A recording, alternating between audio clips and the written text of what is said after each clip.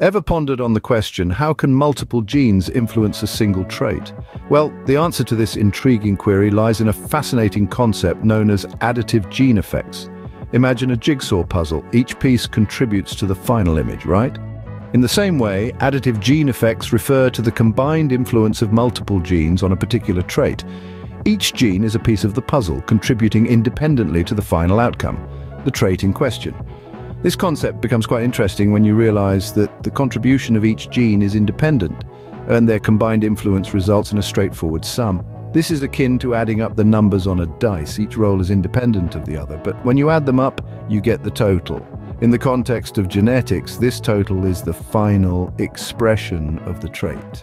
And now, you might be wondering what happens if the genes interact.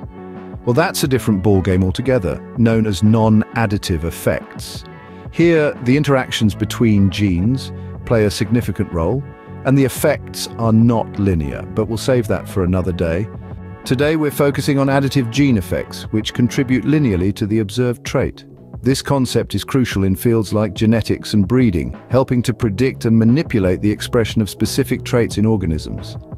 Take human height as an example. It's a trait influenced by multiple genes, and their effects are additive.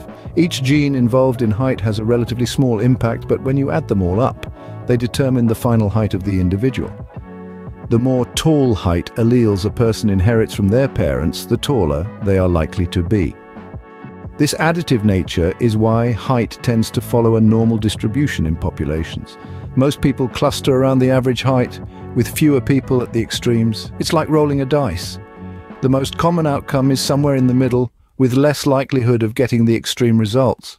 So to summarize additive gene effects refer to the combined impact of multiple genes on a single trait.